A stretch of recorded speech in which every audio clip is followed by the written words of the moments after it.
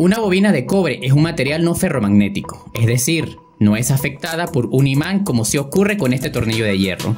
Pero, ¿qué pasará si movemos el imán cerca de ella? Mi nombre es Carlos y en este video lo descubriremos.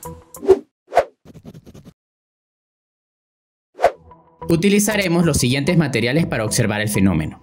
Un soporte para péndulos como este juguete de madera que posee la forma de un mago.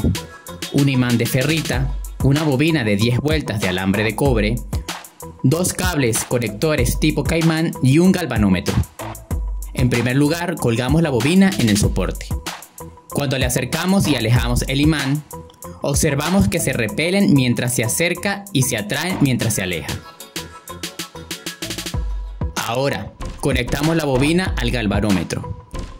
Cuando le acercamos y alejamos el imán, observamos que se detecta una corriente en ella, cuya dirección varía si se acerca o aleja el imán. Al cambiar la polaridad del imán, vemos que la dirección de la corriente se invierte en cada caso.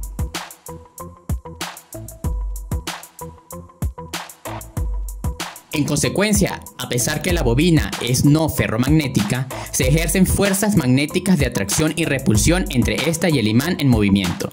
Además, se induce una corriente en ella cuya dirección depende del movimiento del imán y también de su polaridad. No te pierdas nuestro próximo video para descubrir la causa de la aparición de las fuerzas magnéticas.